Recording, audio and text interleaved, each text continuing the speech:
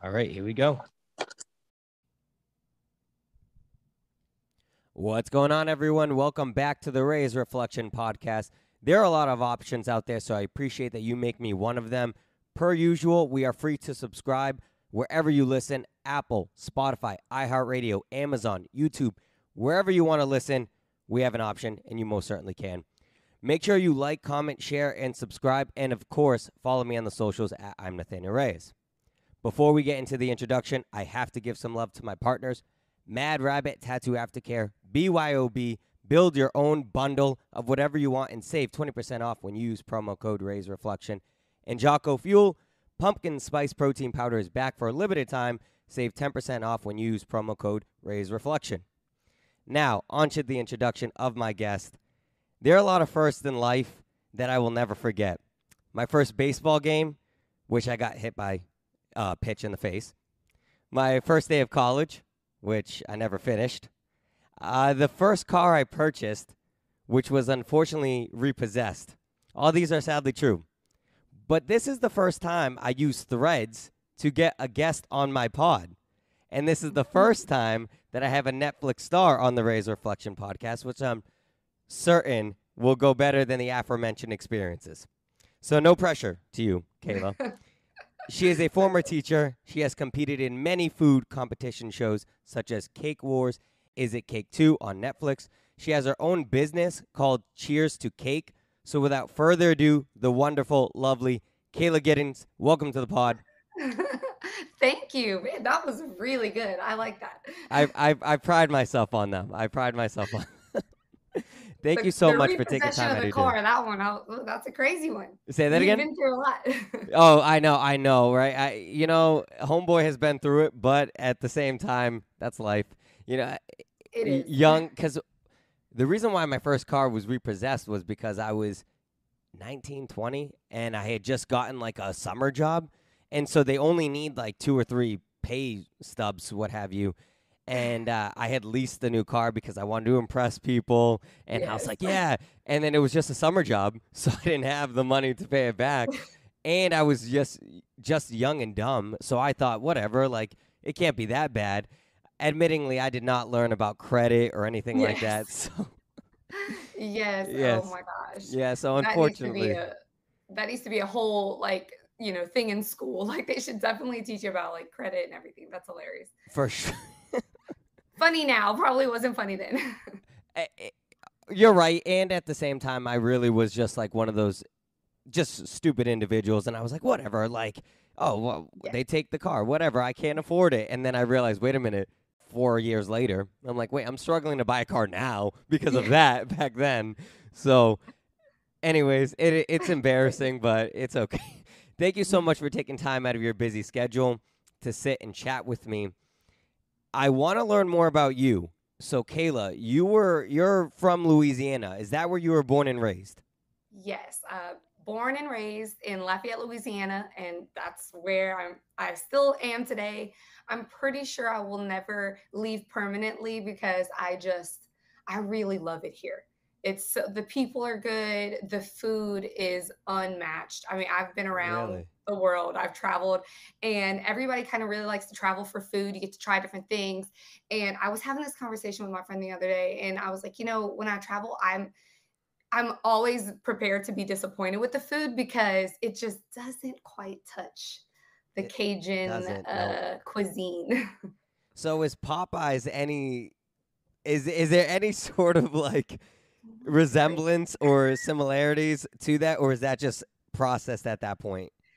No, uh, I love Popeyes. My daughter loves Popeyes. Okay. Um, their red beans and rice, she loves it so much. So it Popeyes is really good, and like their like red beans and rice and stuff like that. It reminds me of what you might like buy a, a box red beans and rice to yep. taste like, and I think it's really good. But if you get like my mom's red beans and rice, it's not really It's not bad. You know, it's it's kind of similar, but like really elevated. And you yeah. can tell it was cooked in a good kitchen. Yeah, home like you cooking. can just tell the soul in the food. I love it. The soul. It's true. It, it's soul food and it's uh, southern hospitality. Those type of things. So yes, yes no, I agree. I agree.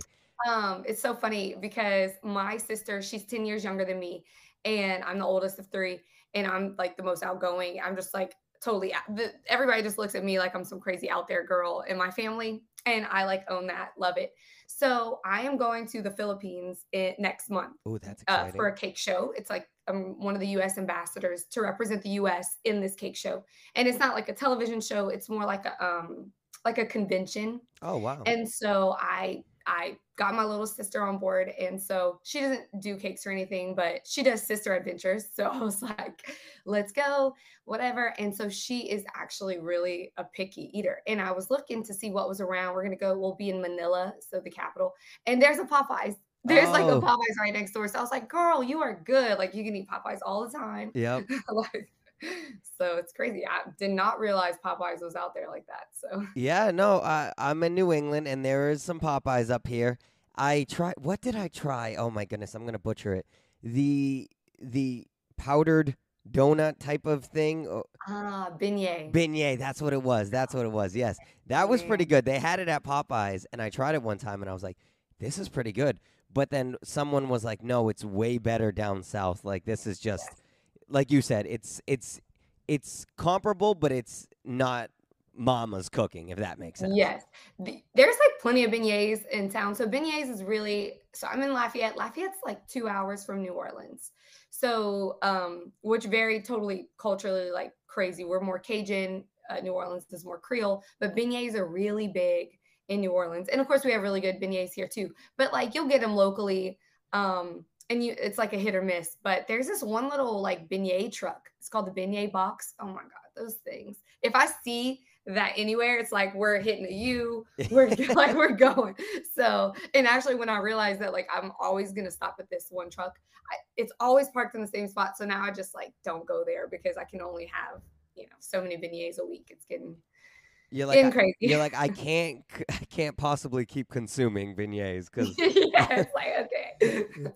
Uh, now, I don't know if this is where you are, but is crawfish or there's a type of exotic fish, right? That's very popular down there. Is that right? I, I could be wrong. exotic yeah, fish. I know. Right? I All right, something we don't eat in New England. That's what I'm basically saying. You're my favorite. Uh, that's hilarious. No, so a, a crawfish, yes. So it's huge. I think that actually the city I'm in, Lafayette, is like probably the center of like crawfish okay. because so crawfish are they're mud bugs where like they live in the mud. So yeah. you wouldn't find them like in in like the ocean or something like that, okay. like lobster. They they look like lobster, but they're really small. So actually, when you drive around, you know, during crawfish season, which isn't all the time, but you'll see like little mud like towers in people's yards. It'll be they're, they're everywhere, and it's it's those are crawfish holes. Yeah. So they'll be in the front yard really, but people will like make crawfish ponds, which is just like a really shallow pond in their backyard, and then they like fish them. So, so they do yeah. they like they like harvest them? Is that what it is? Yes. Okay. Yes. So okay. they like go around in their little boat, their little boat, like it's got to be a tiny boat, and they just like pick up the traps, empty the traps. It's kind of like so because you're from New England, right? Which oh, geography. Um, so, yes, I'm from New England. So that okay, so that's like yo, crabs are big there. Crabs, lobster, occasionally shrimp, not not so much, but uh, lobsters are really big here. Like we uh, we're known for like the Maine lobster rolls and things like that. Okay, yes. Yes. Yeah, so it's kind of like I guess kind of like crabs, but but crabs are in the ocean as well. So, but they're not. But a mud a mudfish though, that's crazy. I yeah. also I've also seen this video one time down in Louisiana in a bayou where they uh, that that's a that's a thing, right? That's a, it is yes. It, it, what is that like a a pond, a mud pond? Is that like the best way to describe? How would you yes. describe that? I know. You know, I was kind of wondering. So, uh, my husband and I, he's from Maryland, so he's like big crab guy. Yep. Um, we just actually got a house, and it's on a river, and so I was wondering the same thing because I'm like, oh, we're on the bayou. But then I was like, wait, are we really on the bayou? I don't know. It's like the river and it's kind of muddy. So it looks like bayou. I don't know. So I think a bayou is more like a swampy, yes, marshy kind of a pond thing. Yes, yes. But so the reason why I brought that up is because I saw a video one time where they caught a fish and the fish's face looked like an alligator and it had little teeth. And I'm like, yes. they have those alligator gar. Is that I'm like, what is this thing? And it didn't have arms or legs. It was, and I'm like, what is this creature? Like this is insanity. like, and this is, you know, we we sit here and we fantasize about deep ocean, outer space, and I'm like, this is people's everyday in their backyard. This is everyday life. So it's a little insane Yes. to think about it for a person who's not acclimated to the to those type of surroundings. I know it is kind of crazy. Like I feel pretty. I, I love being from here, and I think it's really cool because everywhere is like really culturally different. Some places are richer in culture than others, Yep. but yeah, I think Louisiana's got some stuff with it. Like this place, you come here, and I really do feel like people are like, "What? You know, this is really different." It's not like Billy Madison different. Yeah. You know, it's not like we're not doing that. I mean, depending, there's some small towns that I'm I personally witnessed some things that are like, well, um, that could be on Billy Madison, but is that the one, Billy Madison? Is it No, it's not Billy Madison. What's the show? The movie? the movie? The Are you- Waterboy. oh, Waterboy, Waterboy. Yes, yes, Okay. yes. I just watched Billy Madison the other day, but yeah, I no, just the watched Big Daddy, so there you go. We we I, I saw that this weekend.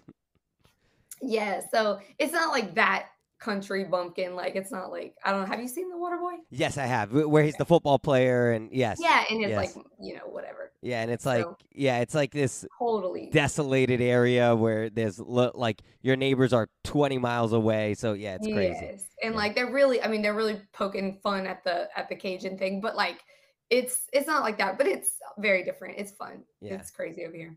That's fun. That's fun. So, but you love it. It sounds like you're gonna stay there your whole life, which is which is really cool. Yeah. You're also a former educator. Prior to be you becoming a full time baker, talk to me about what led you to want to be an educator. That is a funny thing. Uh, so, like, I uh, went to college here in uh, Lafayette. So, I went to uh, UL, um, the University of Louisiana, Raging Cajuns, and loved that. And I graduated with like just a general, like, a um, arts and humanities degree. Yep. And so, I was really like, what am I going to do with this thing? And so, I I just realized that you could be a teacher by going online and like getting your certification that way, which was like my quickest way to make like full time pay. Because really, four year degree, if it's not in, if you're not trying to be a nurse or if you're not trying to be like something specific, you know, or getting a degree in teaching like or something like that needs it, it's like what there was nothing I could do with my degree. There was nothing. I was like, Right. Okay. So actually, nothing really led me to wanting to particularly be a teacher other than really just wanting a decent job that paid well. But you did it for a while. Yeah. So I was just like, what am I going to do? So that's it. And then once I started to teach, of course, um, I really liked it. Like I love, I think the kids are funny. Like it's really fun. Like we, you know, I and I was teaching science to begin with, and then I went to English and theater, and like I had a good time doing it. It's like, you know, there's a lot of things like teachers are underpaid and they're overworked, and that's so true. But I would really just focus on like the fact that I would get off work at three o'clock every day and like have, you know, holidays off, summers off. Like that's pretty Yes. awesome. Yep. So I just kind of fell into that um and that, you know, profession and I loved it and um I was trying all the things when I first started. I was the unicycle coach at the same middle school that I went to. The unicycle coach. Okay. Yes. So crazy is I can ride a unicycle. So I was like, well, I'm gonna be the unicycle coach. So um so like I don't know, it just like teaching is really cool. You know, it's it's one of those things that you really have to have the passion for it though, which sometimes I didn't. My passion lies in like cakes and obviously like competitions, you know, Yep. TV shows and things like I just really thrive on that kind of thing. So I had to, it was when I walked away, you know, I still kind of want to be a teacher again. Every now and then I'm like, man, that would be fun to be like teaching, Yeah. you know, when the holidays come around or you think of like, oh, homecoming festivities, but like not that bad, right? Because I'm not, I'm not going back, but I miss it sometimes. there is a certain there is a certain aspect of it that I think just pulls at your heartstrings and it gravitates you towards because si- similar to me I, I did work with kids for a long time and it's something I loved and I did it recreationally I did I was a teacher's assistant so I was like a para I think some Yes, some districts mhm. call it that and uh, it was a really good experience to be able to interact with the kids and they really do have this way of picking you up when you're sad and and making that joke like you said and and having this kind of relationship where yes you're you're almost this mentorship to them and they they acknowledge that and so there's this respect and trust and it, it is a very I, I know what you mean i know what you mean because it is Yeah. a very loving love. field to be in Yeah, definitely. And it's also it made me a better person because you become more I think I taught for like 7 years. And so in the beginning maybe I had one idea of like who kids were or whatever and what their family like was, life was like and I, would approach each day like okay like everybody woke up like me like we're all you know good eating Yeah. breakfast coming to school to learn and like I really became culturally aware Mhm. and like socially aware that agreed no like not everybody is waking up and getting out of their bed if they even have a bed right? Because yeah. I didn't teach it wasn't like really low level but it was kind of like they were low income level schools like they they just qualified. So it's like it helped me as a person not to just assume anyone that i meet like the way that i approach any conversation or meeting someone just not assume that they're having a great day and a great life and just being a little more sensitive and then like learning people as you know them right? But yeah that really that is it's it's an experience being a teacher that like or even i mean even more so like teachers assistants all the time my teachers assistants because i'll be like man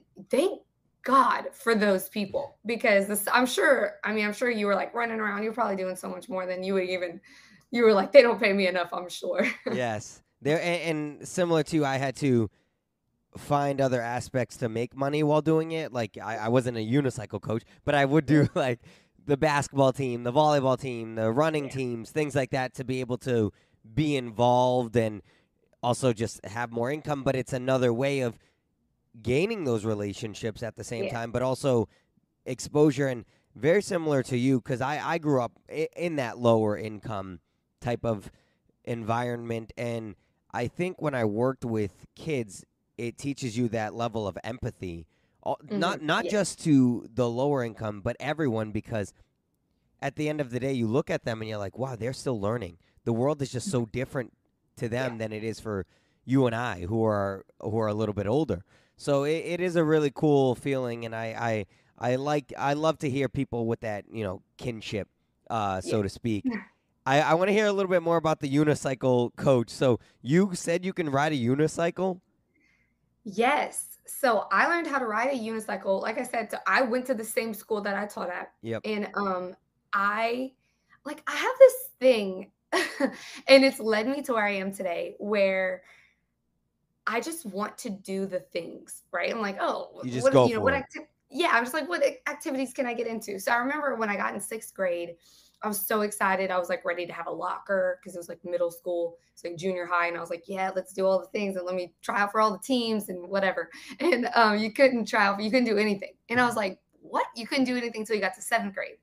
And so I was like, well, what can I do? And it was a unicycle team. So it was the same school. And this unicycle team has been there for a long time.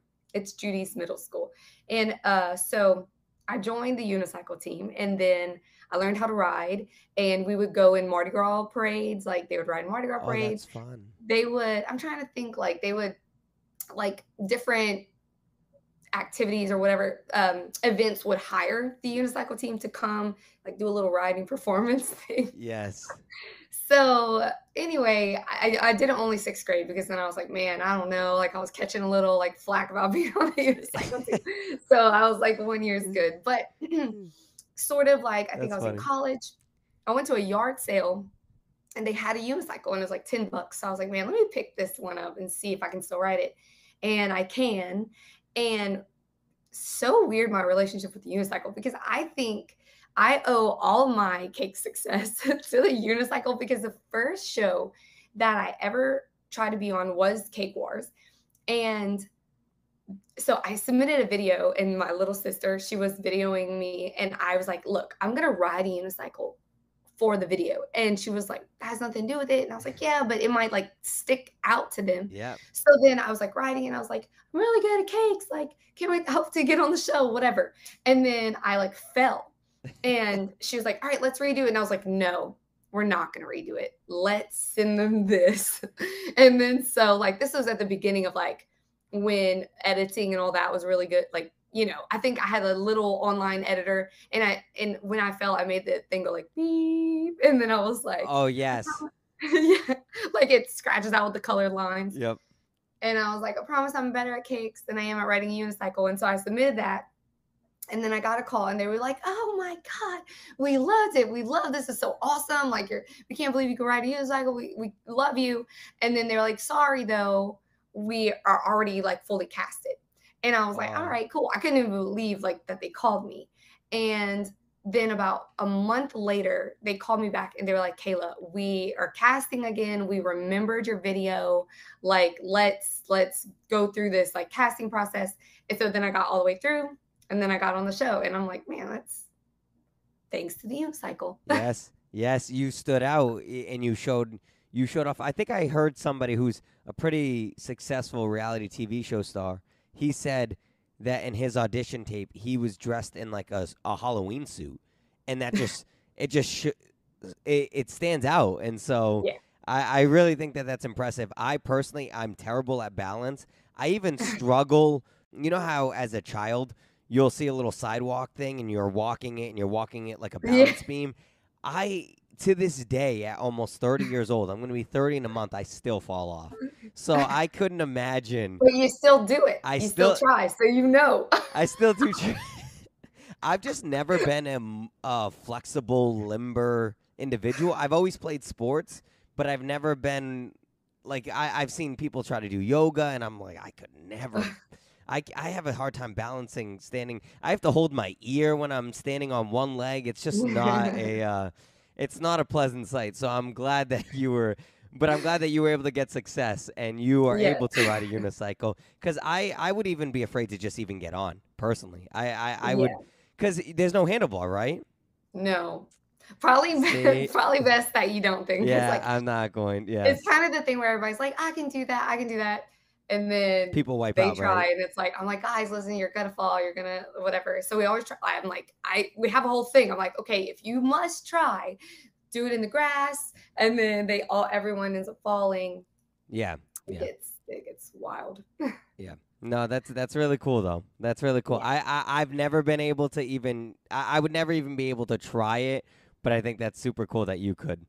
Yes, well, thank you. So it actually connects to like, so one of the things that I'm so upset about, sort of, on Is It Cake? Um, on episode five. So I think I think it was five.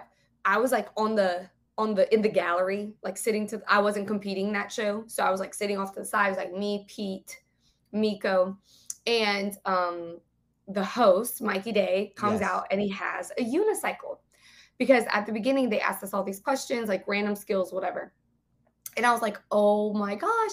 And unicycles have different size tires and i can't ride every one. Like it's oh. a Oh. s- like it's only one size tire that i know how to personally ride. But he had the right one and i was like oh man like i can't believe like you know and they wanted me to ride it. So i was like well i'm wearing heels. So they brought out tennis shoes and everything like this whole ordeal so I was like, all right, I'm gonna ride this thing. So then I get on there and I'm like riding the unicycle around the set. The bakers are like baking for their life. It's like the last 30 minutes for things. And I'm just like riding around. They're like, okay, ride into the camera, do this. Like it was a solid 20 minute like production of me riding the unicycle. And they didn't even put it in the show. I was gonna say, I yeah, I don't think I saw that. Yeah, so Not there. I was like, I know they did it. it didn't make the cut. oh my goodness, so Isn't that crazy? that is kind of crazy. That is kind of crazy, but I mean, ultimately a really cool experience.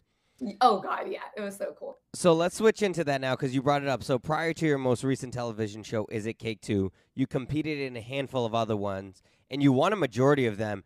Could you share about some of those experiences of those other shows like Cake Wars? And I think you did Cake Wars Champions too and things like that. Can you just talk a little bit about those experiences? Yes. So every other experience besides Is It Cake was really different from Is It Cake, which is really crazy because uh, I think I was on five or four or something. Um, and they were all uh, one episode shows, which made Is It Cake really a big deal for me because it was like a whole season. And so every other show, like Cake Wars, Cake Wars Champs, um, things like that, I would go. So you get chosen. So, I, you know, I actually casted, I applied to the first Cake Wars. And then the subsequent shows after that, they actually you just become like a cake person in the system i feel like because they'll call me up for you know different shows. And um, sometimes i could do it sometimes i can't. But um, pretty much you know they would choose like the head baker and then i could choose an assistant. And for the majority of the shows also i chose my best friend fallon we went to the same middle school together. Speaking of, like, we're friends. She's a teacher as well. She's still teaching at that middle school. Oh wow! Like, like, yeah, it's just like really staying local over here.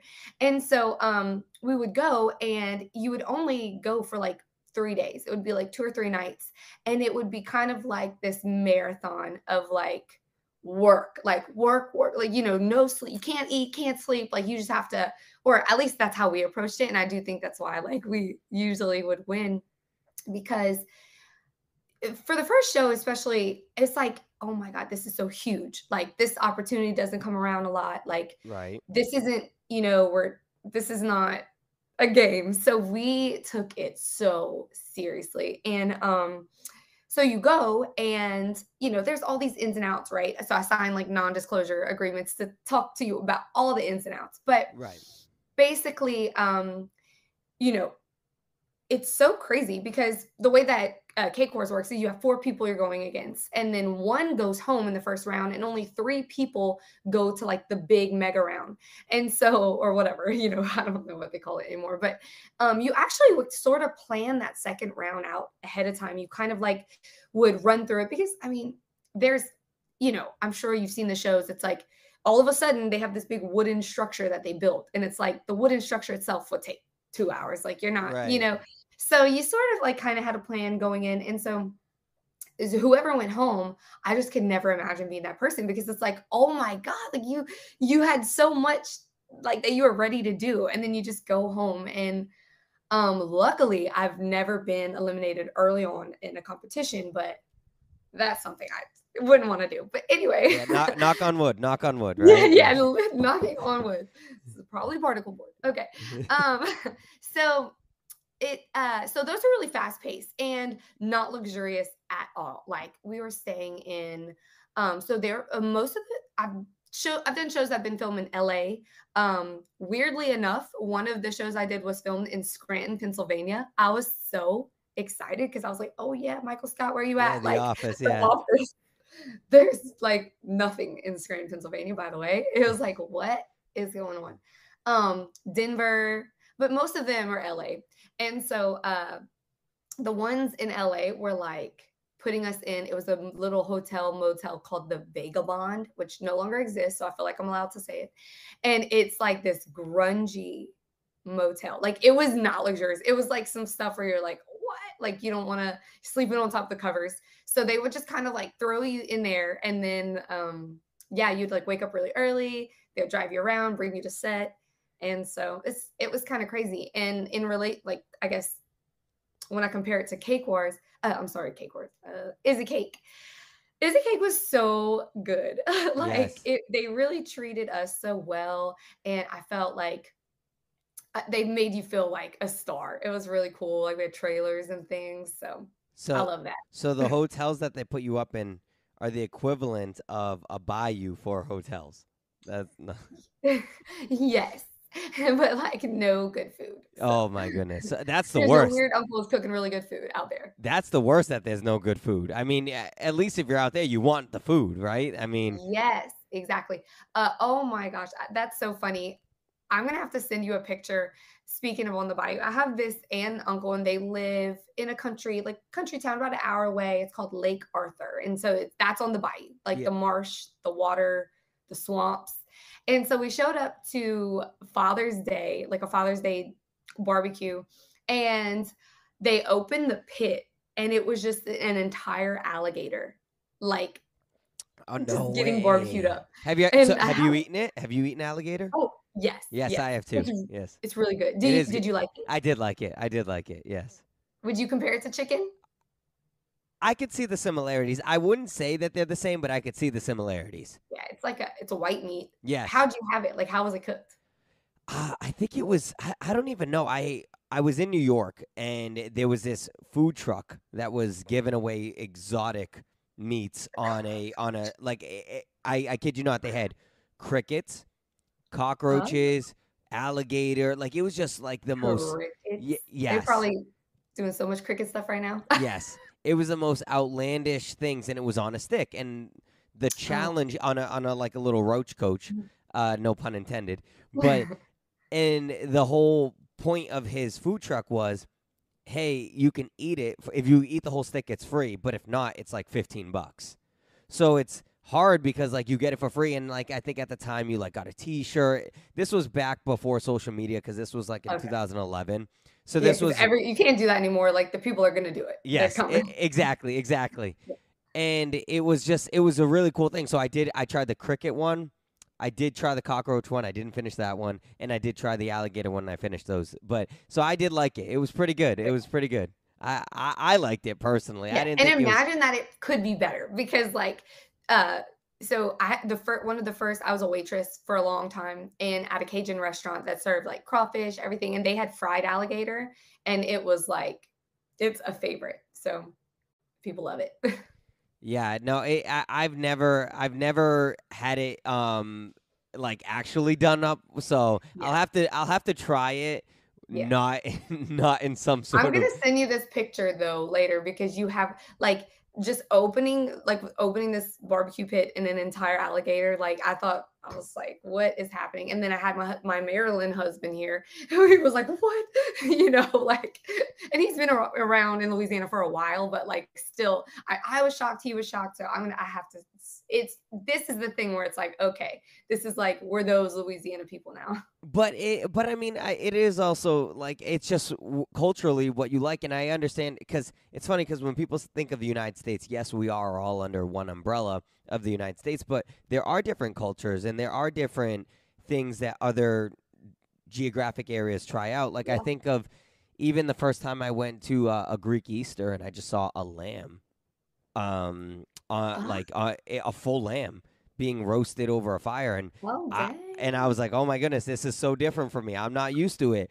I didn't know that was a thing. Yeah, Okay. And my mom, eh, she's Puerto Rican, and she would tell me that where they lived in Puerto Rico, they had a, a chicken farm, and they would just have the chickens and hang them upside down, and then when they were ready to use them, they would take them, and that's how, and it would just constantly be out. So for us, or for people who are not around certain areas, it might be different. Like your husband, you said Yeah. because I think even myself, if somebody just opened up a, a, a you know a big fire pit thing and I- and I see a, a full on alligator, I might I might be like, whoa, like that, that's a little different. But it is really cool to also think that there's also different cultures. That that's how I view it. To me, I'm like, that's so cool though. That's that's something different. It is. Yes. Yes, I recently went to my first Indian wedding and I've heard that those are. I've never been, but I've heard that those are just insanely amazing. get on that.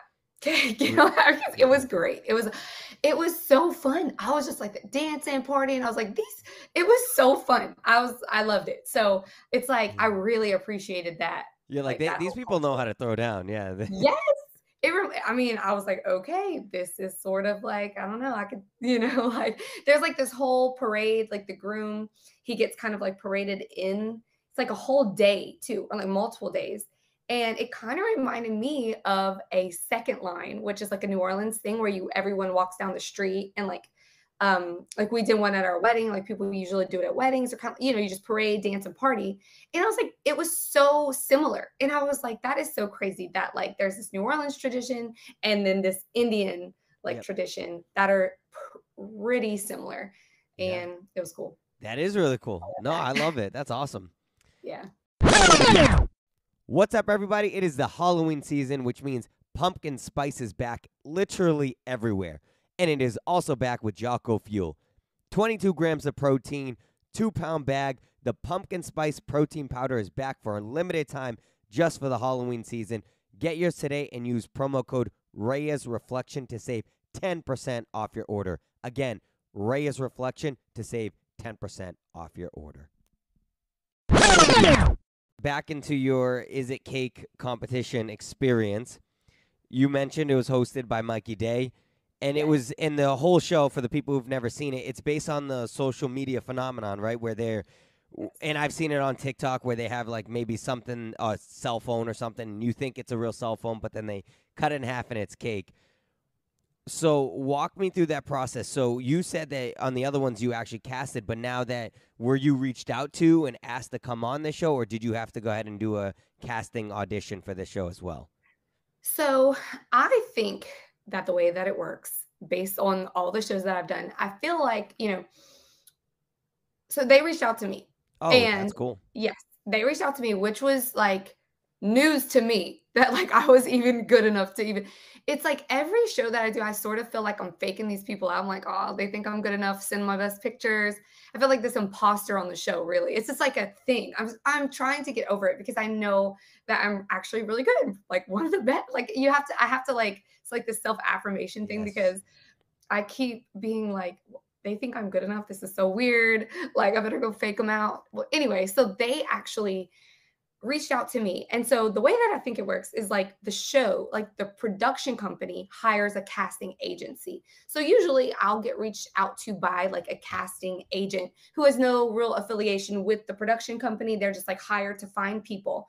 And so then what they do is they take the people that they find and then send them to the production company. And then that's when the producers will start to pick and choose an interview and everything like that. So I was reached out to by the casting company. And I was like, what? What made them possibly reach out to me? And it was a couple weeks after I had made like I, I had never really made hyper realistic cakes. Like I've made cakes that were realistic or or something, you know, it looked artistic, but like it didn't, it wasn't like, oh wow, is this a, you know, is this a coffee cup or is this a cake? It wasn't like that.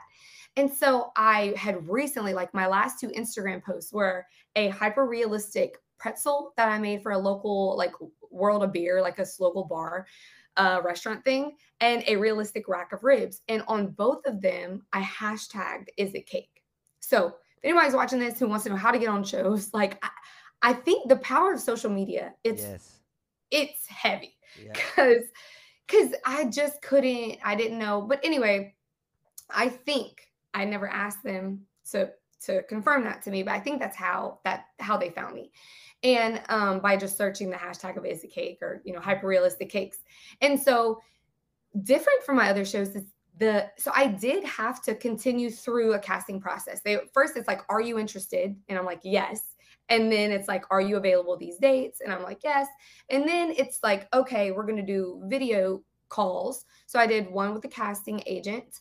And then when it got real, real, they sent me on to the production company. So at the time, I didn't really realize who I was talking to, but it was like the head, like it was the head producers, like right under like the director who was interviewing me.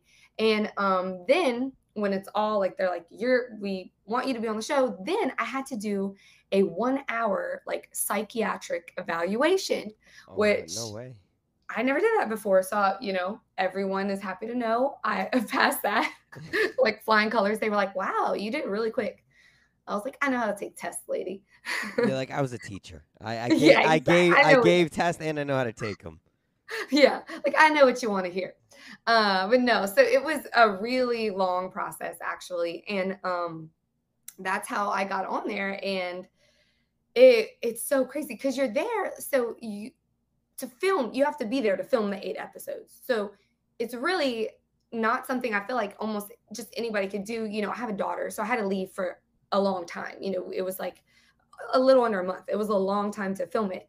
And so I had to tell my daughter, like, I had to ask her and I would tell her, you know, like, um, how do you feel about mom being gone for for so long? And I think I was gone her first day of school, which kind of like I was like, oh man, this is sad. Um, and she was like, well, how bad do you want to be on a cake show? And I was like, well, pretty bad, so I'm gonna go. But she's so supportive, and um, I'm actually so me and her dad are split. We were married. We got married super young, like 21. And um, so we're split. So that actually kind of helps in that situation Yeah. because, you know, she she we have like a whole village that like stepped in for me to be able to like go. And um but yeah, didn't phase her one bit that I was like going for a month. So well, it takes a village to raise a family. That's what they say. That is so, true. So that is so true. Or, or to raise a child, rather. Yeah. How did you get into baking? Because eh, at first sight, it seems like it's just mostly a hobby for people. How did yes. you get into that and it became something that you were like, hey, I am good at this. I am going to try to pursue this or even compete on these TV shows and things like that. What about it was like, this is something that you're going to truly pursue? So interesting because I the thought process was was different. It was not I am good at this. I sucked at it. And like So do I. I I just wanted to be good so bad. And I was just pissed off because every cake I would do, I'd end up crying, cursing. It was ridiculous in the beginning. But um but I was like I want to be good and I'm going to be good. Yeah. And then that that's kind of how it grew. But the way that it really started was I was like 19 and um I, like it was my college boyfriend at the time and he had like all these hobbies. He was like working out and golfing and everything.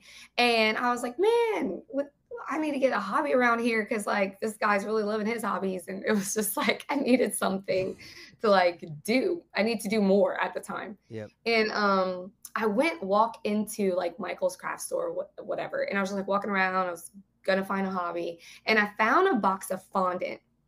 So, have you had a cake with fondant on it? Yeah, it's like, it's like it's like I, yeah. I don't. I'm not a big fan of it though. Yeah, I'm not a big fan. I feel like nobody really is. Yeah. I, I, have one friend who like wants to eat it by the box, but uh, which is weird. He's weird, but um, yeah, not many people like it. And so I actually found uh a box of it and I was like, what even is this? Because I actually grew up like pretty poor. And my my parents are like super hardworking. Like by the time my brother and sister were born, we like my parents are so well off now. Like they, it's so crazy. Like, and I got to see it all. It was so weird. But um, so we didn't have like like the way I looked at it, I was like, I've never had these like rich people cakes. What is this? You know, like with fondant on it. And um, so I bought the box and then I went home, baked a cake, and rolled this fondant out and just plopped it on there. No icing, nothing. I didn't know you're supposed to have like actual icing on the cake under the fondant. And so it was dry and gross. And but it was so pretty. And I was like, oh my gosh, like look at this. I'm so good at this. Posted a picture of it.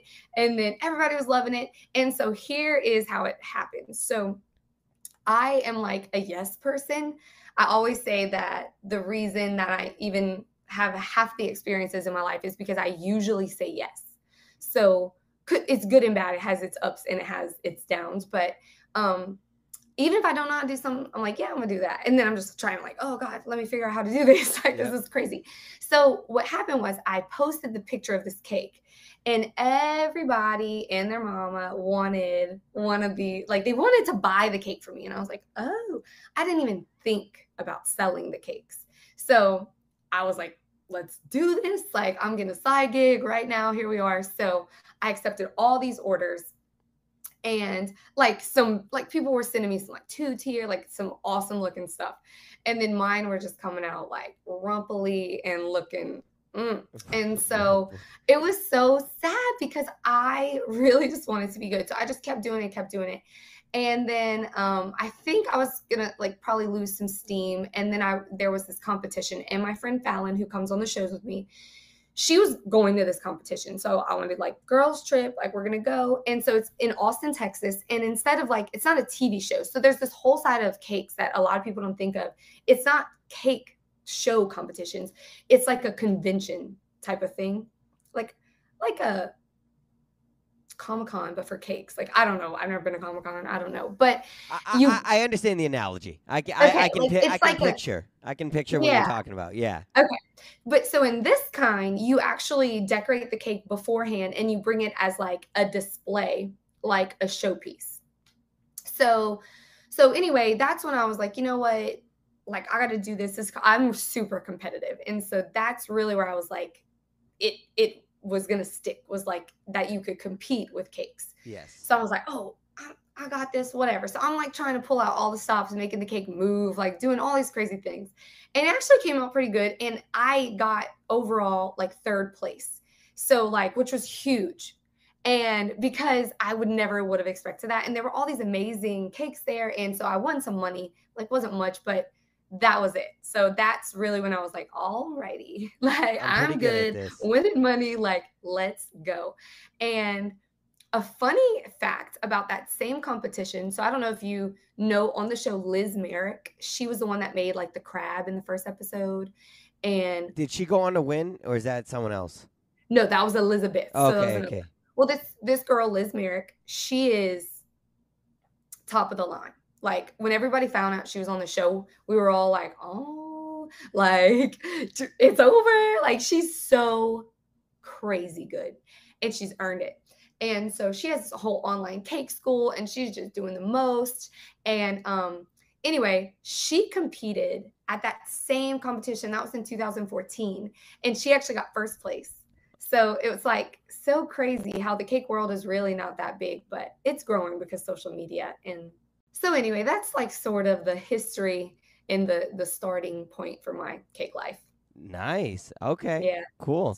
So yeah. it started. So your cake life started from, hey, I don't want to be a loser with no hobbies. Yes. To now it's a career. I mean, I guess I guess that's the best way to make it, right? That's yeah. That's the best way to do it. That's what I I feel like that's what I did with this. I just wanted it to be a hobby, and then it turned out to be something that I was pretty decent at, I guess, in some people's eyes. So yeah, and the in the growth potential, yes. you know, yes, it's it's something so crazy. And now we're going like I'm gonna go a little businessy for a second. People are like, you know, always they'll ask me to do cakes and they're like, oh, well, this person's your competition. And I think it's probably the same in the field of what you're doing. It's not a competition. Oh, it's no, like yeah. I'm like, guys, no, like I love that. Like the more cake bakers in my hometown, the better. I mean, there's plenty of celebrations to go around and just like the ceiling is so high on what you can do and i feel like it's probably the same for podcasts and yeah. I mean it's worldwide like it's the growth potential. Absolutely. I've never viewed this as like a competition based thing. I've always yeah. viewed it as like i can if anything i can learn. I can get inspiration. I can see what works in some people's shows and what doesn't work and things like that and so it, it to, I agree with you. It is one of those things where it's like, I really think yes, we can all be competitive, but I genuinely believe if you're just honest, hardworking, and, and you stay in your lane, and nice. You, and and nice, and you stay true to yourself, that we all can actually do a very good job at what we do. So, really cool stuff with you about how you got into that. I stink at it. I suck at cooking. I suck at baking. If it were up to me, I'd have Uber Eats 24 7. I'm just not the best. but I think it's really cool that you were able to learn something, teach yourself. Because I think I read something that said you taught yourself mostly off of YouTube videos, which yes, awesome for you to use a resource like YouTube, at, at, which everyone has their phone and at their fingertips, and they're able to look it up. So I think that that's really really cool. I do want to circle back to some of your experiences on Is It Cake Too. In my opinion, on the gym episode, you picked probably the hardest product in the Bosu ball, and but you mm-hmm. used protein powder, which was really cool. What about the is is that just who you are innately and who you are of like I want to try the hardest things I want to because you mentioned that that you're just a naturally competitive person within yourself and you're like I want I want these challenges so I can prove to myself.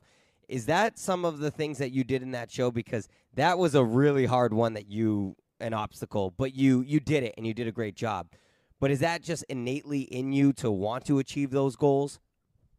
Yes. So looking back, this is probably not the show to do that on, but um, I was lucky because I, you know, I got pretty far, like to where I was a staple on the show. So it makes me feel good about what I did there. But yes, so almost every time I got to pick a cake, I would not almost every time I was the second pick, right? So I I always got to pick second, uh, you know, and so I was I usually had a good a good option, you know, a good amount of options.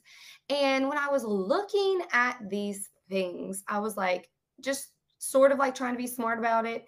And it's a pretty quick thing. So if you're taking a long time to decide it on the show, they will rush you along. And one thing that I did is I always picked like so quickly yep. Eh, because I just I second guess myself. I'll, I'll I'll overanalyze until till the day is done. And I think that a lot of times on in a competition or even in life, if you just you be super like like um you go with your gut kind of thing and you just assertive. So I wouldn't think about it too long. And so I saw these options and you know I didn't want to do the gloves because I was just like uninterested in boxing gloves. Like I also which is like so dumb. I should just do the easy thing. But like, I just like didn't want to make that. No part of me wanted to make that. And then you also have to make two identical. So I was like, nope, that's not good. And then like they had the um dumbbells. Those were a ton that needed to be identical. Like, you know, which is the hard part. So when you're making cakes, if you choose something organic, like for example, if I would make an animal or if I would make food, it's so much easier to make that hyper realistic because those things are organic, organic, and they you know, they're going to look different. Two, no two apples really look the same. Right. So that's true. yeah. Point. So, uh, so I was like, man, all these things, whatever. The duffel bag was so huge. That was a little more organic because, like, it could be like Ripley, whatever. But my one of our really good friends got this Superdome cake for as his groom's cake. And that Bosu ball just reminded me of it. And I knew it was huge and weird, but I was just like, I don't know. I just looked at it and I was like, that. And everybody, it was kind of crazy because the reaction that they show on the couch was true. Like everybody was like, what? Yeah. Like I immediately was like, oh God. Like Liz looked so like disappointed in my choice. And I was like, oh, maybe I shouldn't pick that. But it um I was pretty happy with the choice, and maybe I would pick that one again because, um, ah, like it was it. The problem was the time because it would have been so perfect. It was going along great, like, but I took, I think I had to make 19 batches of cake, and the time is real. Like some shows, I'm not gonna say which ones, but the time might not be real, right? You can't make some of these cakes in four hours. But the time on Is It Cake was 100% real and baking so it was cake, the it was the eight hours that they said yes oh mm-hmm. wow and baking a cake really it takes time like especially if you want them to be good and you're not like turning the oven all the way up so i think i spent like i don't know if i i wasn't done really baking until like four hours in it was like so crazy and so um but yes that is i think part of who i am because the more that the show went on especially on the sh- the one that i got eliminated um I like the toothbrushes. I was like, that's so small. You can barely even see it from that far away. Like, I should choose that. But then I really was like, I wasn't ever winning. I wasn't ever like going home. I wasn't ever in the bottom. Actually, on the Bosu one, I don't know, like, I don't think they really showed it, but it was between when they were choosing like who was going to be the winner to play the game, it was between me and Pete. And they really, they loved it. And I was like, I was so close. I would get so close so then on my last, you know, where I ended up going home, I picked this weird curler roller thing, but I was like, because it had the brush and I was like, this is hard. So either I'm going to go home because it sucks, or I was like, or I'm going to, this will give me the best shot at actually winning because I didn't want to just keep like skating through. Yeah, I go big or like, go home. That, yes, right? exactly. That's really where I was. And I think I said that in that episode. And I got a little internet, like not backlash, but a couple people were like, oh, you jinxed yourself. Like you shouldn't have said that. And I was like, what? I'm always gonna say what I think. Number one, and like I didn't jinx myself. It was the truth. Like, yeah, you know. So that, that I mean, and, and you can't live with regret. Like you, that's what you wanted to do. You wanted to challenge yourself. You were on this competition show. You wanted to prove yourself, and you wanted to prove the world. And I think you did. I too had that reaction when I saw it. I was like, "Damn, she is choosing the hardest thing." that that, but I I mean, kudos to you because at the same time, I've never baked you know, like you said, do I want to put myself out there or do I just want to coast by? And it sounds like you didn't want to just coast. In that, I believe you just brought up the curlers and the toothbrush and things like that. In that episode, you could not hide your emotions too well whatsoever. It was pretty evident that you were and transparent that you were upset with yourself when you dropped the knife on your on the brush. But I do want to I do want to commend you. I think that that was really quick thinking of hey, I'm just gonna melt the other brushes so that way they can look similar. What was going on in your mind at that moment in time? Because I obviously, like you said, sometimes TV can play it up. it seems like it happened really close to the end of your baking time. Is that correct, or was that It modified? It oh, really it did. It was 90 seconds until. Okay. And so I'm not used to this is not me patting myself on the back or anything. I'm just not used to feeling completely helpless or giving up at all. Like I don't I can I refuse to to give up. So, especially like on this platform, like you're at um that's like the major thing that you know my career at this point. And so um it's like honestly, I was what in my mind, I thought I reacted so much worse, which I like to have a little poise. Like I'm a little bit crazy. I say whatever's on my head, like in my mind, I say it. But I do like I try to be like, I don't know, I'm not gonna throw a fit or be crazy. Like I'm not gonna be that girl. And I sort of felt like that. I did that. So I was so I, I just felt like I was like so like, ugh. But then when I watched it back, I was like, oh, okay. Like it was worse in my head yes. because I just kind of like go, I feel like my face went just like white. I was just like, uh. And then I think I was like, what do I do? Nothing. But then, yeah, I just, I was like, you have to do something. And then even more because you're like, you never want to have regrets.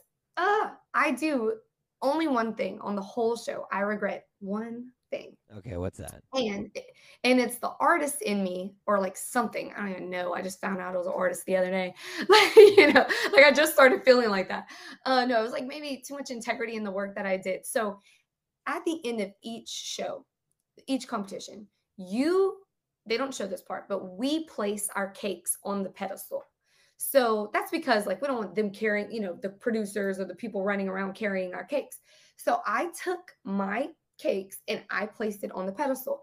You're also allowed to place the the dummies, the decoys as well. So we got I placed all the decoys, whatever, and I faced my brush up.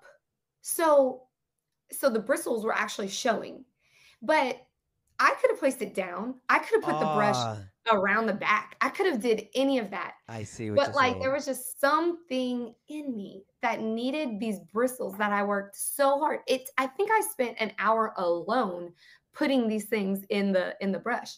So I was like I wanted them to show and I just shouldn't have done that because even Dixie like the whole time they really were going to pick another number which weirds me out but whatever. So the whole time they were like, "Oh, we're going to pick this this this."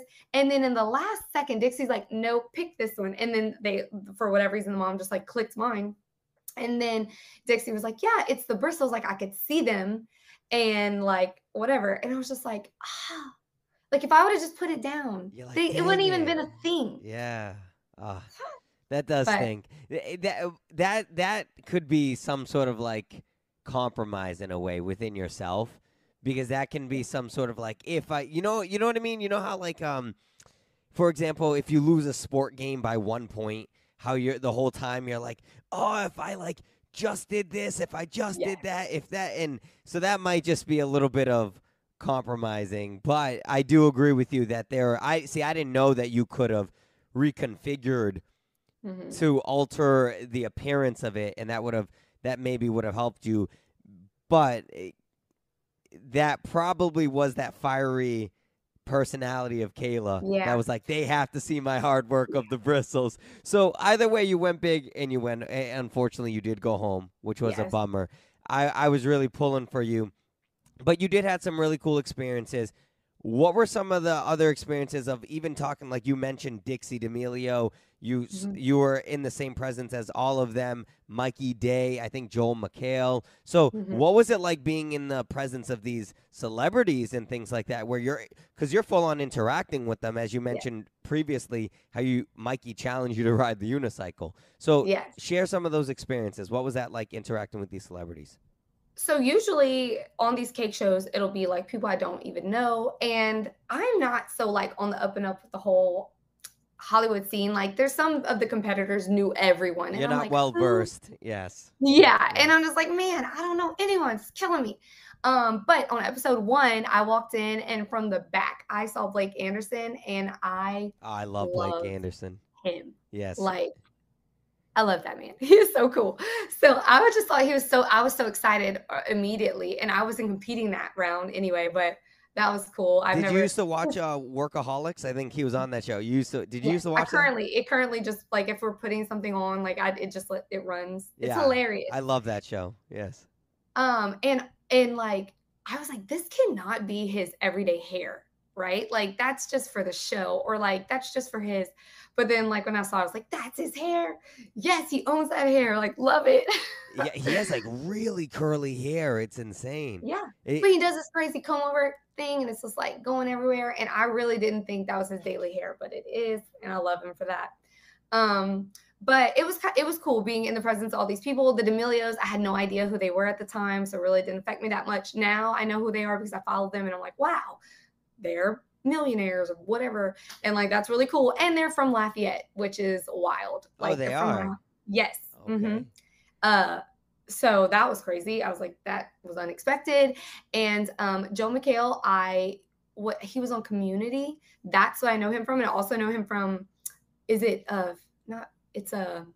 he's on one with Adam Sandler. I don't know, but he's like the blended. That's what it is. I think. Yeah, he's, like the, jerk dad. He's the jerk. Yes. You're right. Yes, he's the jerk dad. I I, was that. like, oh my god, I know this guy. yes. And so kind of like was cool to see him.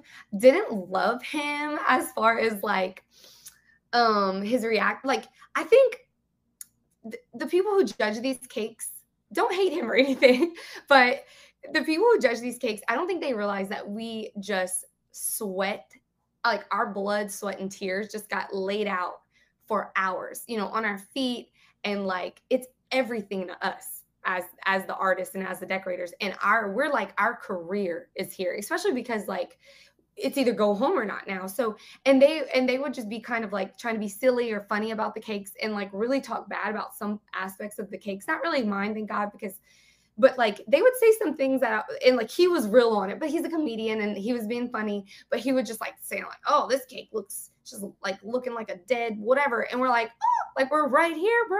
Yeah. like like it was kind of sad. Um and like when he actually tried my protein powder i was like yeah hopefully it's in a good way. By the way that protein powder filling is delicious. And um he was like yeah sure. But that's he was actually really nice about it in person but they cut it to make it look like like he totally burned my recipe i was like what like the satire was like uh, was very directed towards you, but in real Yes, life he I'm was like, like. what I thought that was a great idea when you brought it up. When I heard you say it in the episode, I was like, as a person who does fitness, that would be so like I, I love working out and things like that. If somebody said to me, "Listen, I'm baking a cake with protein powder," I would I would be like, "Boom, bam!" You're like Yes. the fact that you even consider that option. I mean, that's yeah. impressive. Well, I thought it was like on theme. Like I was trying to do this whole on theme thing. I Yep. was like, cool, it's a workout episode. I was wearing my Body by Cake shirt, which I love that shirt. That was a good Thank shirt. you. Those shirts are all my designs. This I have one on right now. Uh like I love shirts, like fun shirts. Yep. And so when I found I was gonna be on the show, I like designed like I just submitted all my designs. And then um Oh, they really just cool. ch- they so they they make you send them like 14 outfits. So there's only 8 like, you know, episodes. So you ultimately choose your outfit and they just out of the 14 each day they would tell you, "Hey, tomorrow you're wearing this." So you didn't really get to pick. So I had no idea that it would be a workout episode or whatever. Really, it worked out, you know, because Body by Cake, I love that. That was one of my favorite ones. And so I was just the whole theme thing. I was like, Body by Cake, working out, protein powder, and um, You yeah, and checked all the boxes, right?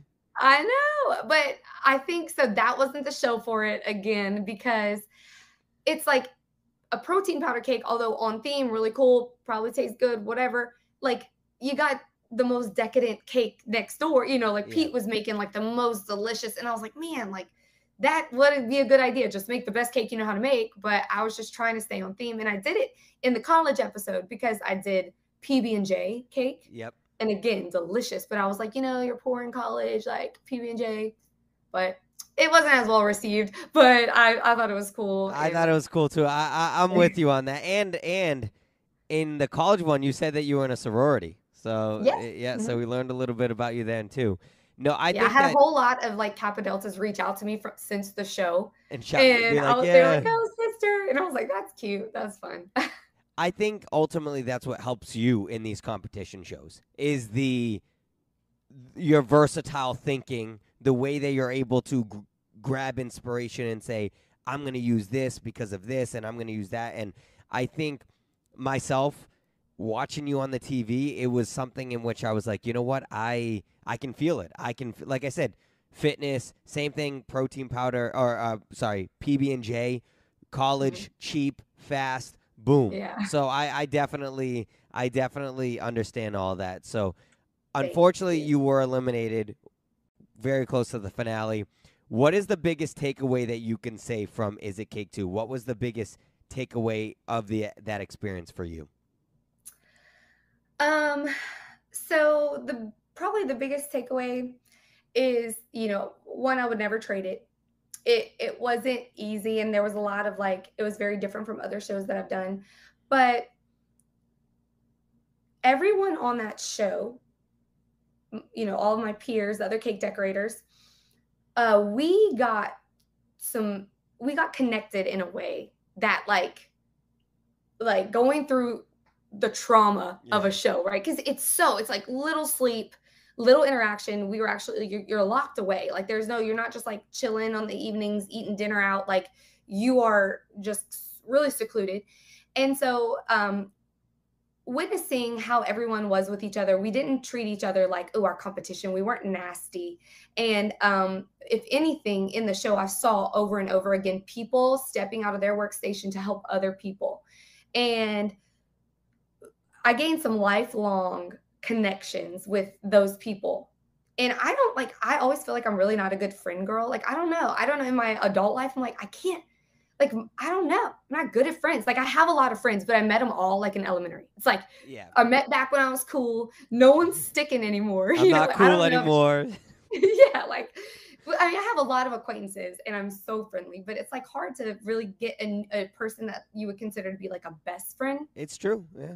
And um, so I think that we sort of maybe some people more than others in the group though of Is It Cake, but so we still communicate. We're still friends. We hang out. I was in LA hanging out with Justin uh, uh, from, he was in the first two episodes like a month ago. So pretty much, you know, I just learned that like connections and stuff, that's really the most important thing out of all of these life experiences. And uh, you know, be thinking quick. Like I actually love myself a little more after going on that show and kind of looking back and learning things. And I'm like, man, you know, like I am good at this. Whether I don't know how it's received or how people will view this. And I got a lot of positive feedback from viewers that made me feel good. So I feel like people really got who I was because I'm a happy person.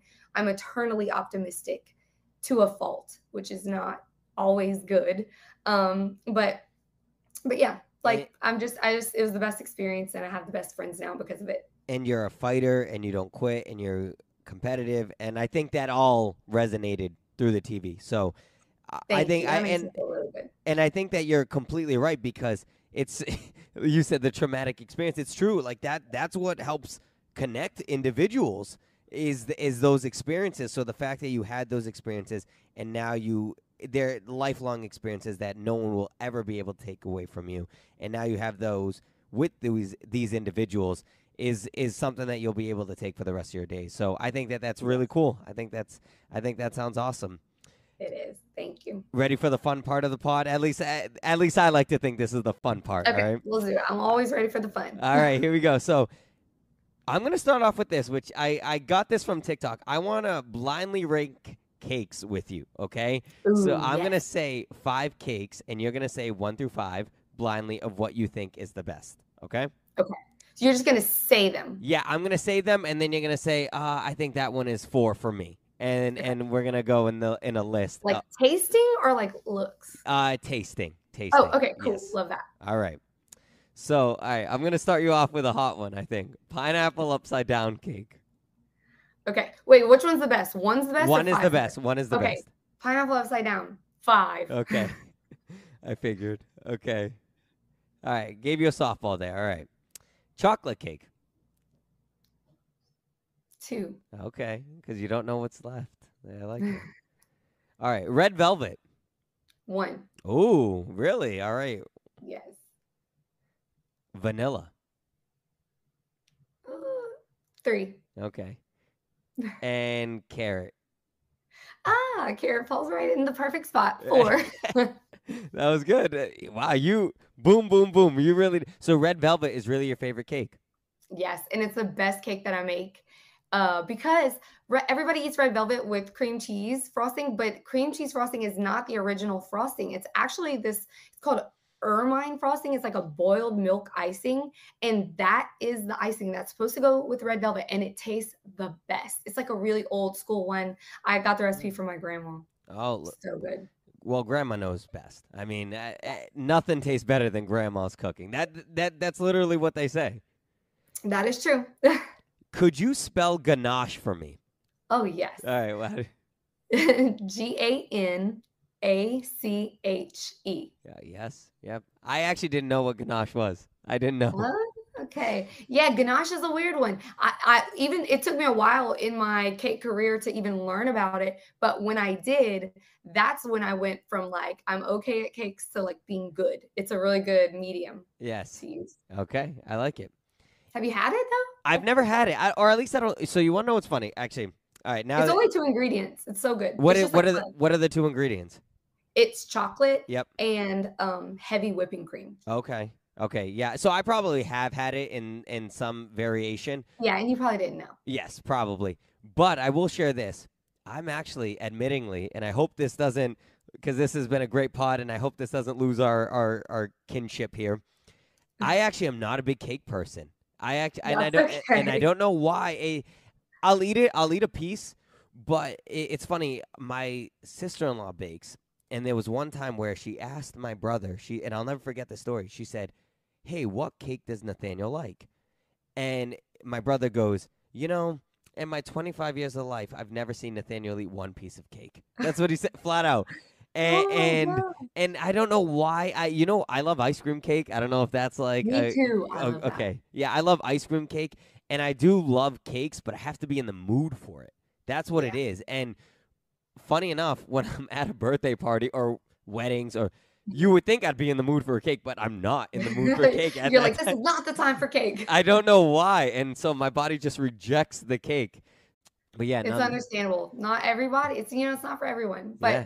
you can look at them. Yes. And, and and when I see your work and when I see even like I said on TikTok when I see it I'm like that's got to that cannot be a cake that is a coke can and sure enough they cut through and it's I love it- that. That's it's a so fun. so it's really impressive. If somebody were to write a book about you, what do you think the title would be? Hmm. I'll let you sit I'll let you sit on this one for a little bit if you want. Oh man, Very yeah, that pensive. one's. Yeah. I don't even know. Um, crazy sweetness. I like it. I like it. Ties in who you Yeah. are, things like that. Yep. I like it. Besides baking, what does Kayla like to do? I love to travel. Okay. I love to drink wine and champagne. Wine and champagne. Nice. Yeah, really. I like I like st- like studying it, like trying all the nuances, like knowing all the things about it. Yep. Um, and I love to read. So so so the so the mixing, the like I've seen Yeah. I've seen people do that. Yes. Okay. Yeah, uh, when I was in college, I studied abroad in Paris, and one of the courses was wine marketing. Yep. And so it was just like I was 19 and drinking wine, and I was like, "Oh my god, this is so cool!" And like I, there was, I should have learned so much, and now I would just like love to retake that course, you know, because I just was there for the wine. Then now it's like I, I would like to learn the things, but Right. Now you're here for the learning, not just the Yes, alcohol exactly. intake. Eh, but you said you love to read and you love to travel. Where's one place that you would love to travel to? Um, man. So I went to Finland not that long ago. Um, and I would like to go, I want to go to Norway. I think that's another, and I don't know when I'll get back up there because God, that's a that's a a long kind of like traveling. But I want to I want to check out Norway now. But that's a bucket list for you, Norway. Yeah, yeah. because I don't know like when I'll really get back up that way, but you know, it'd be Nice. cool. But you're going Yeah. to the Philippines. You said in next month. Have you ever been to the Philippines? Never. Nope, Okay. I'm very excited. Miko is also going from the show. Okay. uh, oh and yes. Liz as well. Nice. So y- you'll you'll you'll be able to connect with some people that you went through that Yes. trauma with. Nice. Yes, and Miko's from the Philippines, and they're like famous for their mangoes. I've never had a mango, so I'm gonna have one there. I'm saving it up. Wait, you've never had a mango at all? No. So I think Oh. I've had like a mango daiquiri or something, and it was just so good. Or mango margarita. Yeah. I just did not like it. Yep. And I've never just like had a fresh mango. Really? I just don't know why it's not like presented itself to me. Like, I don't know. In El Salvador, they'll take mangoes and papayas off the tree and Okay. cut it in half, and then they'll sprinkle just a little bit of like sea salt on it, and they'll eat it just like that. And it, it's so good. I don't know why. I, I haven't done it in a in a long time, but I, I am a big mango person. So hopefully you get that experience of a true. Yeah, I hope they're good. mango. Yes, they are. I like them. I like them. Uh, this one is kind of a fun one for me. What Okay. conspiracy theory do you most believe in? But before you answer that, okay, hold on. I got something for you. Oh, man, conspiracy theory. We're gonna have. We're gonna go ahead and because in case you say aliens, you know, you never know. All right. See the hat, the alien hat. Yes. All right, so there you go. So what conspiracy theory do you? Well, I have so fun I on the show. it's funny that you're talking about aliens. I think aliens are like the thing right now. Yes. Um, so I don't so I would say aliens, but I don't think that's even a conspiracy anymore. Well, I guess it is, right? I guess I feel like it's it's debunked, right? Aliens are real. That i- everyone who I've asked that lately, and they've said the same thing. They said it's not even a conspiracy theory anymore, but it is aliens. They're like, yeah, aliens. Yeah, so actually no it is though cuz the government conspired to hide them for so long, right? Yeah, yep. Oh. Yes. Um so I that's the one. You know, I was asked that in a in a job interview a long time ago. Were you was like, really?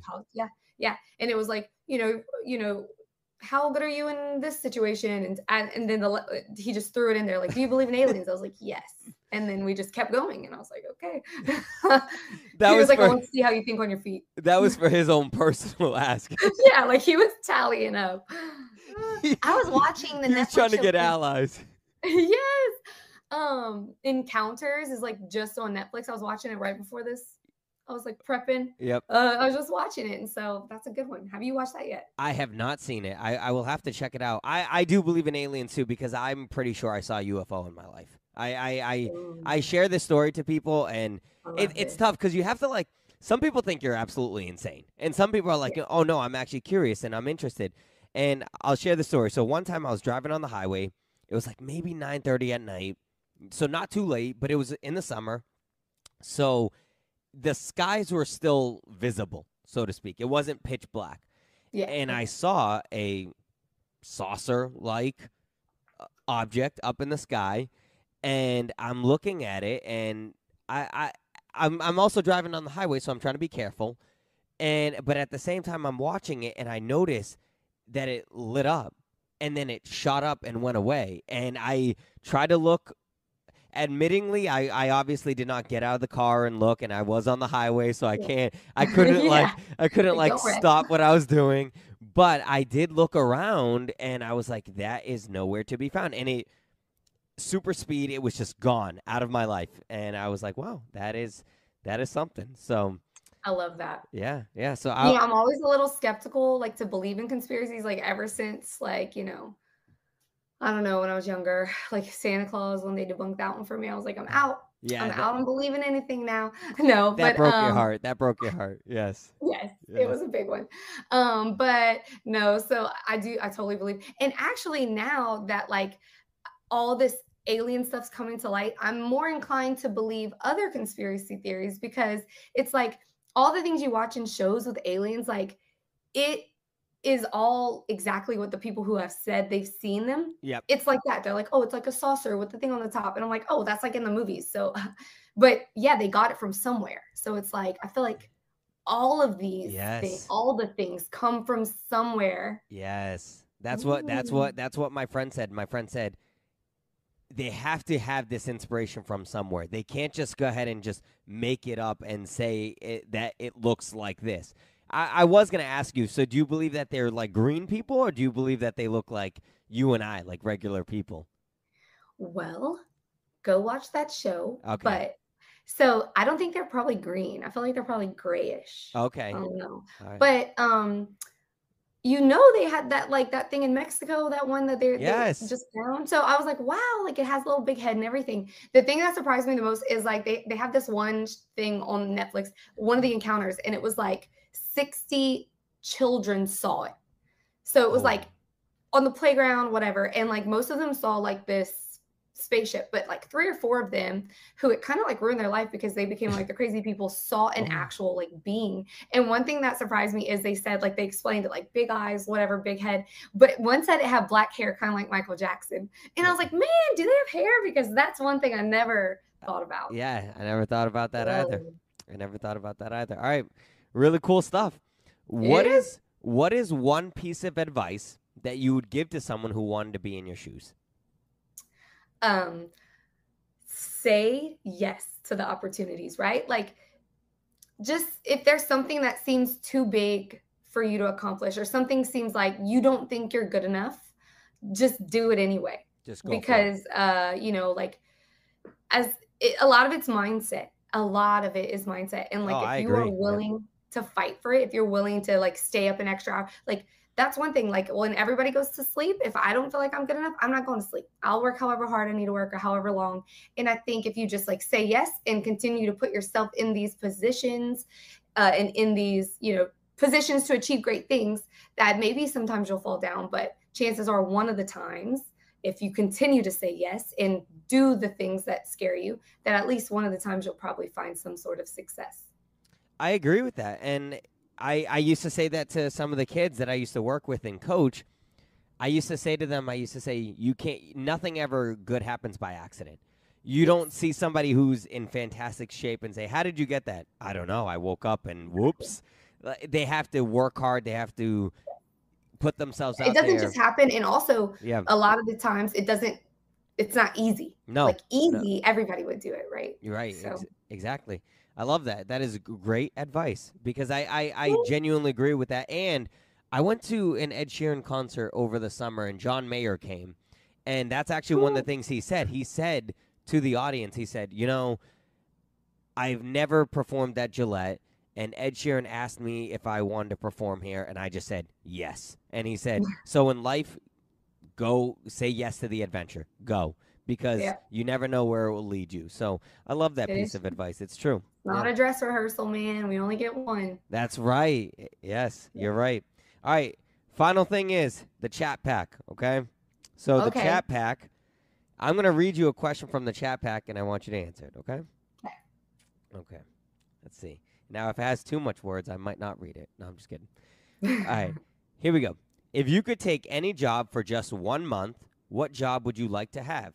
And then it says, assume that you have the skills and knowledge to perform the job adequately. So any job for one month.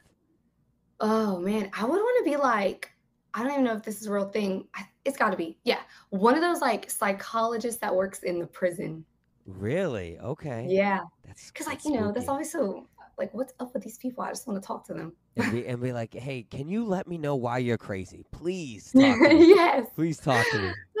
Like crazy stories, things. Yeah, I like that. I think I would do that. It is crazy stories. Uh, The saying goes, "Truth is stranger than fiction." Just because there are some things that you hear, and I'm like, "Whoa!" I, I would never imagine that. I would never imagine that. Before we wrap up, I, I wanted to touch up on your company, your business. We and I and you'll plug in your socials and where people can find you and all that stuff to see your work of art. But talk to me a little bit about your business. Cheers to cake. I obviously will plug that in, but I want to hear a little bit about it. What what are you doing? What are you offering? Things like that. So, Cheers to Cake currently is this like little baby wild animal and it's growing. And it's crazy because um, what I do is I, I make cakes locally. So, I will make cakes here and there. I don't, it's not, it's not what I'm doing every weekend to pay the bills. You know, it's just, it's like my passion and like I'll do them here and there locally. So, I can do groom's cakes, um, wedding cakes, whatever. I am more apt to choose cakes that are like really fun and out there. I really don't like to do just like tiered basic things. Yeah. But that's kind of where I've been. And so I'm now transitioning into this teacher role in Oh, the cake community. So locally, I teach cake camps and cake classes and things, and those are really good and they, they're full and great. And then the next step, which is my current, you know, where I'm at currently, is to take this teaching and bring it online. And so I'm I'm trying to, and it's it's happening soon. Like this month is the month that's supposed to kind of like go live.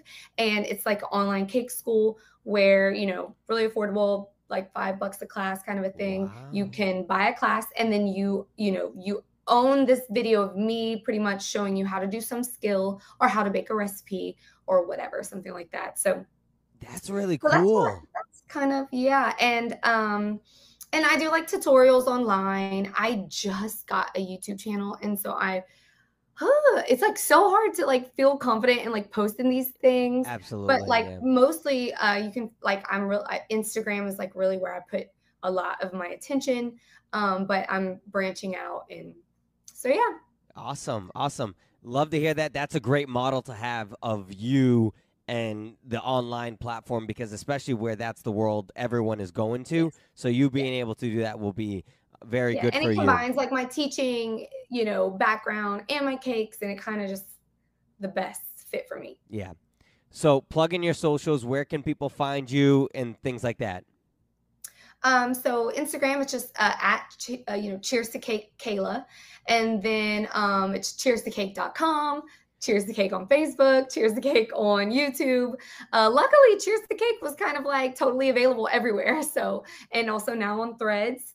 Uh, I'm trying to like get more into that. I'm not so good at it. When you like commented on my thing, that's why I was like, yeah, sure, let's do it because yeah. like nobody's like, I'm getting no interaction on there. So, so, so that's the funny thing. I that's what I because I, I had DM'd you, I'd emailed you, and then I was like, you know what? I'm gonna go ahead and shoot my shot on Threads. I'm gonna go ahead because, like you Good said, idea. I was like, that's the least amount of interaction that people have. So I'm gonna go ahead and just go ahead and sh- that's shoot smart. for it. Go so. to everybody there because it's it's so hard. I've gotten asked to be on like 20 podcasts. Yeah, I did. I did an, another one. I did What's Your Sand Kelp, and then I'm doing yours. Yours is only like the second one, but it's like I was getting bombarded, and I was like, uh, I can't. You know, I couldn't focus on it. But then on Threads, it really was like easy to kind of like the one thing in there. So I was like, all right, let's do it. And then I watched your stuff and it seemed really fun and cool. And so I was like, good. I'm glad. I I, I hope you had a good time on I the did. Razor I loved it. Thank you so much for having me. Of course. Well, Kayla, I really appreciate you taking time out of your busy day to chat with me.